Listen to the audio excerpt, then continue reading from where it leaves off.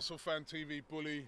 It's beautiful here in Monaco. It's absolutely amazing place to come and watch football.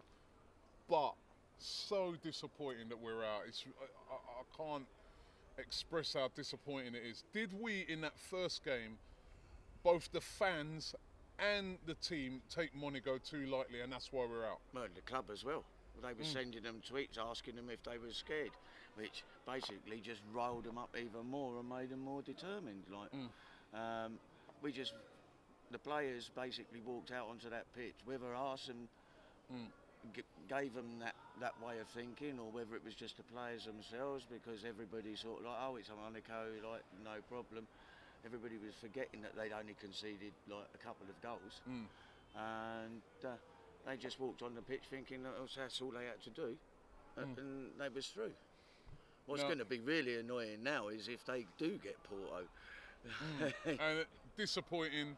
And tonight, good performance. Listen, to to go away from home and win 3 0 is virtually impossible in the Champions League, you know, again, when you're playing against top quality teams. But we nearly pulled it off. Well, yeah, definitely. Um, we hit the post two or three times, and keeper pulled off another good save. Like uh, it was, there wasn't the clinical finishing that we should have had in the in the first half as well. Yeah. Right, of the the tie.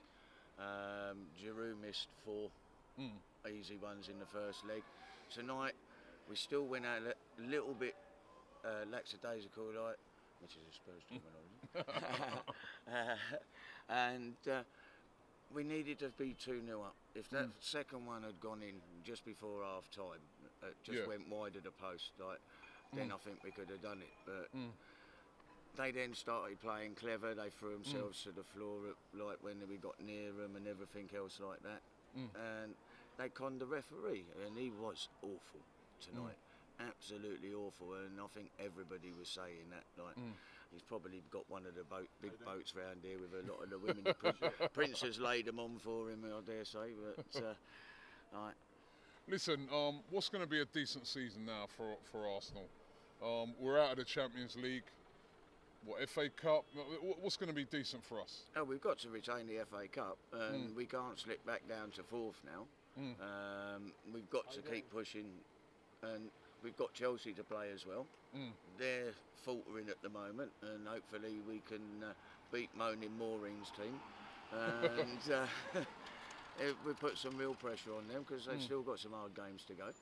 And, w- and, and, and if you was in the, if you was able to talk to the players um, after this defeat, what would you be saying to them, like going into the, the games now for the rest of the season? Forget how they play on the bleeding PlayStation or the Xbox and all that. lot. They've got to go out there from the first minute to the last minute, and they've got to be playing top football. Like, mm. keep the pressure up, close the players down, don't give them five yards or any more than that. You've mm. got to be right in their faces. But it was, it was so frustrating a game because mm. we had the same thing again against Munich the other year. Like, And it's like the storyline for the press. like all the time, it's like Glorious yeah, failure. Yeah, all, all the time. But uh, the referee was absolutely awful tonight. He very corrupt, but we're in a place of corruption here, aren't we?